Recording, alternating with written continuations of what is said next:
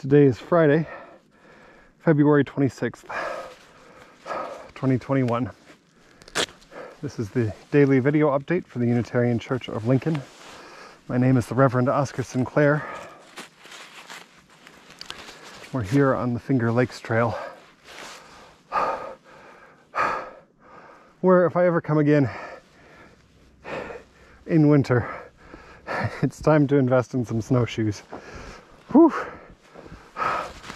The snow has gotten deep, deep here since the first time I filmed updates on this trail. The trail itself is packed down. I went off the trail a little while ago and it's up to my hips, which is really just too deep to walk through in boots. We may cut that. We'll see. Anyway, onward.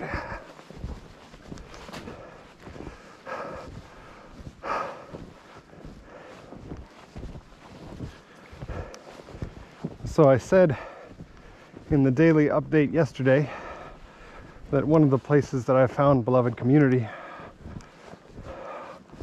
that I find beloved community, present tense, is in this little pandemic pod that Stacy and I and Ailish and my parents have formed over the last four months.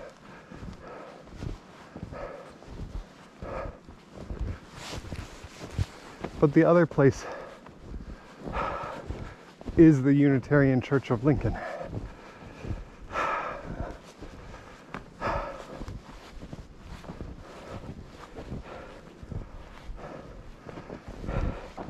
Now, this is now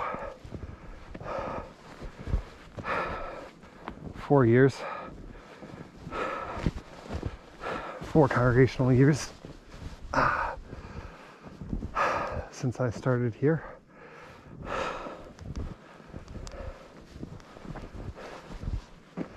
I remember a little over four years ago sitting in our Bronx apartment with Stacy reading this 30 page long congregational description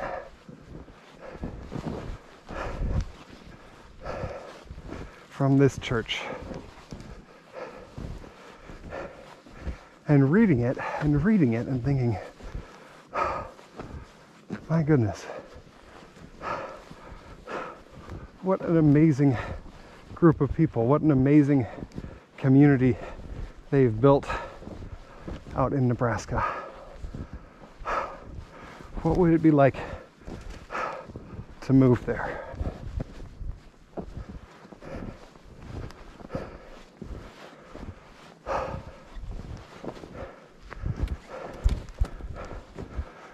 The median ministry in Unitarian Universalism is about six years. But it's what's called a bimodal distribution. There's a lot of ministries that last for two or three years, and there's a lot of ministries that last for a long time. And so you kind of know after two or three years the place of your deep gladness meets the congregation's joy in a healthy way.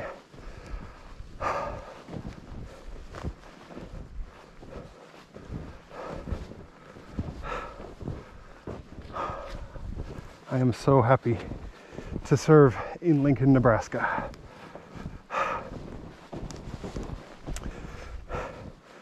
So there are moments of belovedness almost every single day that I'm at work.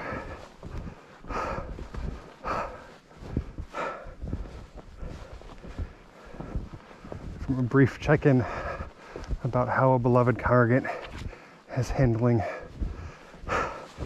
the pandemic.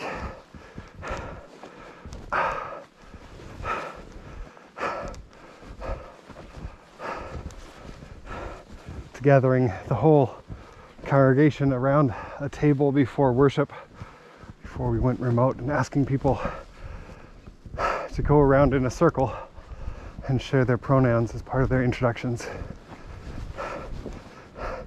and having sure some people laugh, some people a little confused.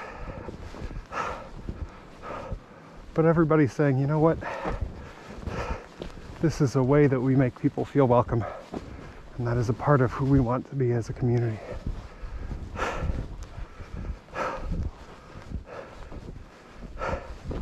You know, I feel it every time I get an email from a lay leader at two o'clock in the morning about something we've been working on together. And I know because of the timestamp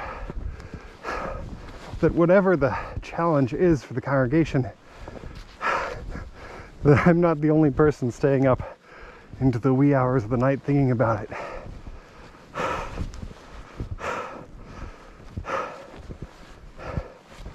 Every time we have a staff meeting,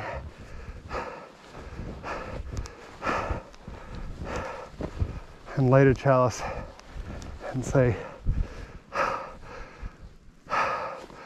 This is a meeting of the staff of a religious institution. And we take that part seriously.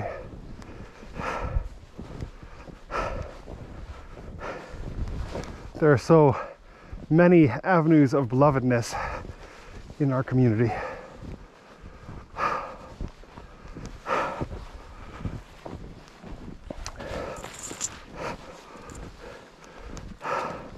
So here's the bittersweetness for me for today.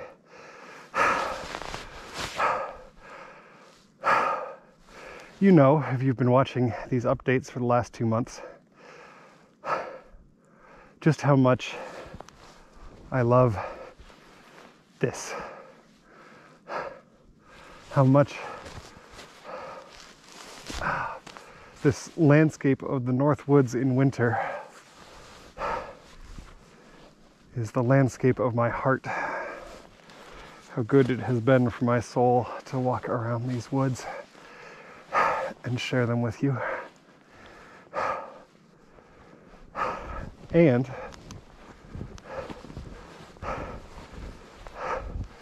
this is the last one of these updates in the woods for a while, at least these woods. As you're watching this on Friday, we are driving. If we've guessed right, as you're watching this on Friday at noon, we'll probably be somewhere in the vicinity of Erie, Pennsylvania.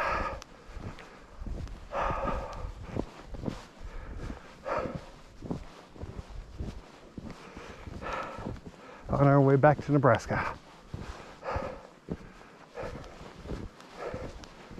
And here's the bittersweetness for me. As much as I love this, this place, this quiet of the woods, this beauty, I also cannot wait to come home.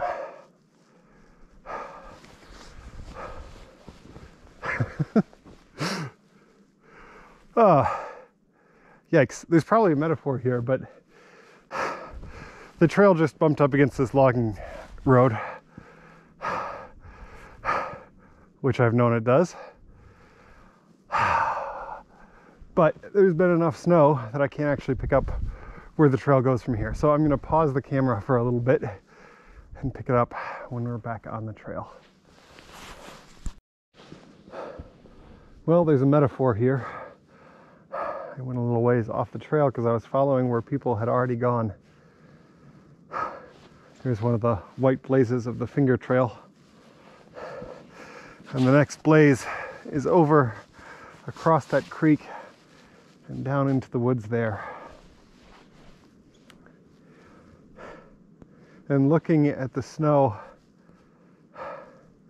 it looks like nobody's been down that path in a month. Which means that the trail is not blazed unless you have snowshoes or skis, and I have neither right now. So The metaphor is pretty blunt. It is time for me on this trail and in these updates to turn back from that trail and head home.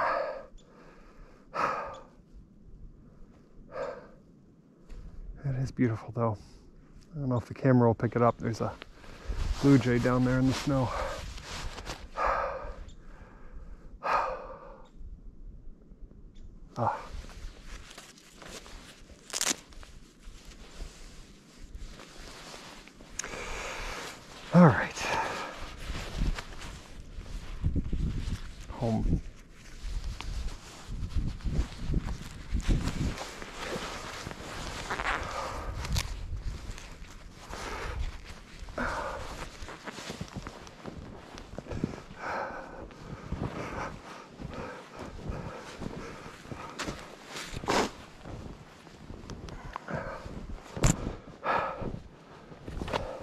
So on Friday, we were driving back to Lincoln, Nebraska.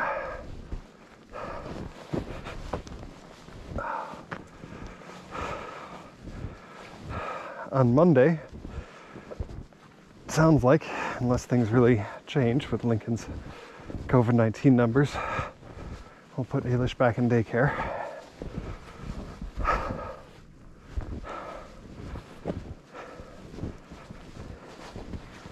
Sometime next week. Not sure when.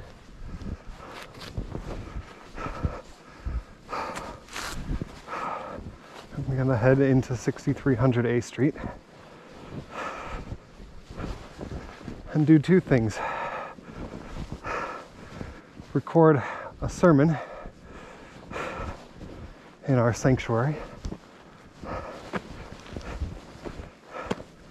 And then look at our sanctuary and look at my office and say, what do we need to get this ready?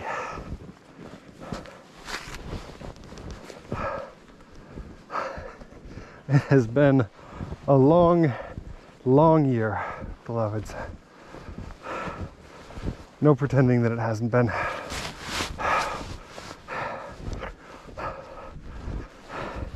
We've seen beauty along the way. Of us have had time for quiet contemplation. Some of us haven't had a moment away from children or need or want in 12 months. A lot of us, most of us, have had, it feels like both of those things.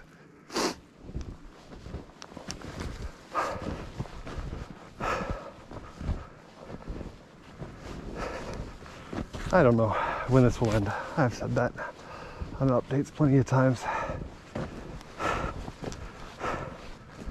But I do know that as we come to the year mark,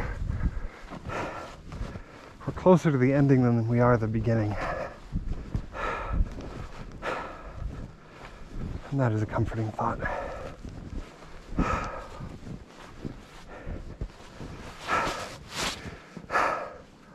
I am, as we do on Fridays, going to leave the camera running here for the rest of this walk. I kind of doubt I'll say much. We'll see as I get closer. But just in case you want to hang out for a little while longer, we'll let the camera play as we start to head home. Thank you. Well, it turns out I'm not ready to turn off the camera. Because here's the other thing that I feel compelled to say at the end of this sojourn in upstate New York. There are about 50 people who religiously, haha, watch these videos every day, every afternoon they go live. And YouTube doesn't actually tell me who those 50 people are.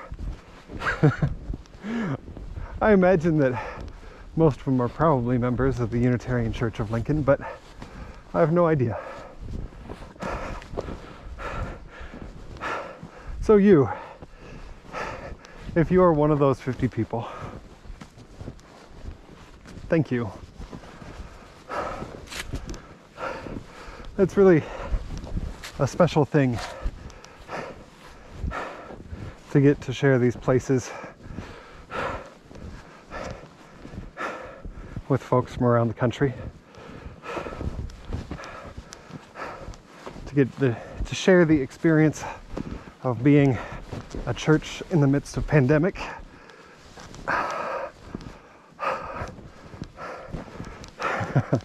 to share the experience vicariously of stepping on a rock under three feet of snow and having a very slow motion fall down onto your butt.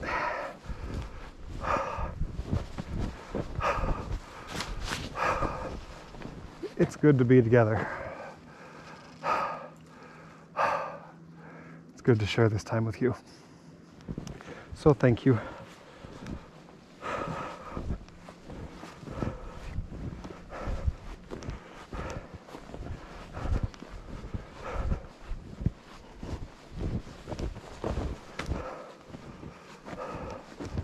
we'll have more conversation on this down the road in daily updates, but one of the things that I've been thinking about a little bit is what form this project takes going forward. It's really had a couple different lives.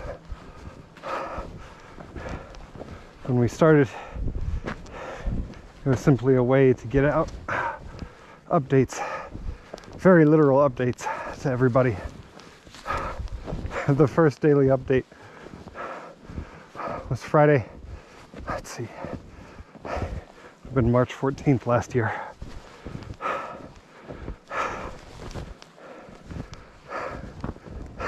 From what's now Stacy's office in my house,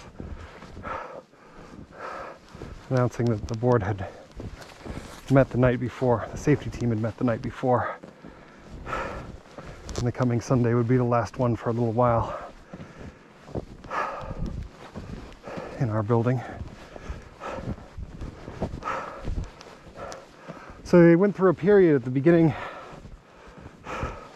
of the pandemic where they were just informational updates. And then as the summer went on, they became sermonettes. We take one topic and write about it.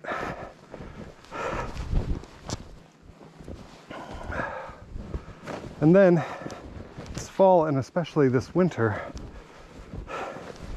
they become more free flowing as I record four or five of them at a time often walking out here.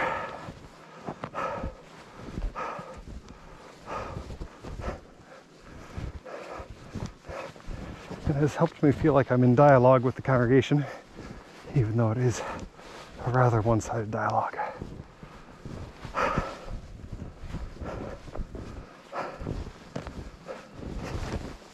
So I don't know yet what the next version will be. Don't know if this will stay daily forever.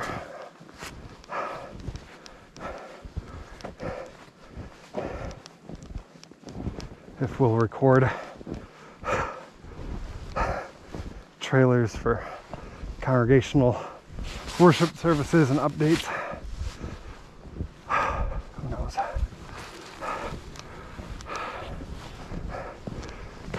But for this piece of it, this piece that has been the series of Reverend Sinclair walking through woods on a snowy afternoon.